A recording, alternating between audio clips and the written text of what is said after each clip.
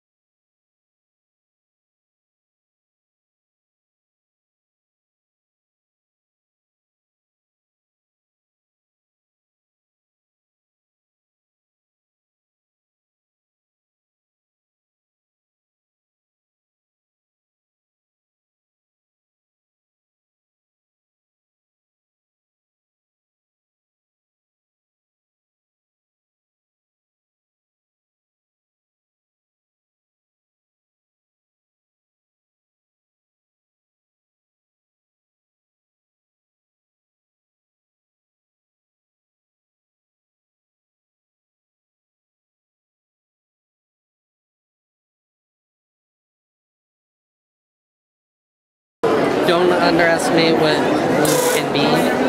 They are magical, whimsical things.